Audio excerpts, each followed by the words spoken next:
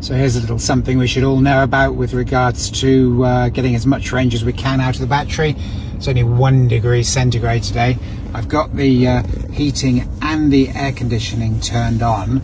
Um, this means that the heat pump has to run forwards and backwards to provide the heat and the air conditioning.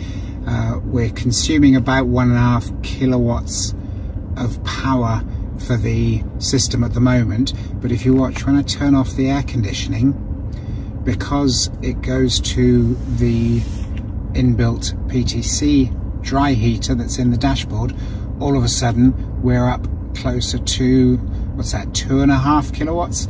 So best part of 100% uh, more power being used. It's certainly getting there anyway 80% more power used. And if you're just trickling around town using very little motor power that's going to take a large percentage of what you're doing which is why of course it's saying 34 kilometers extra range by turning off the climate control.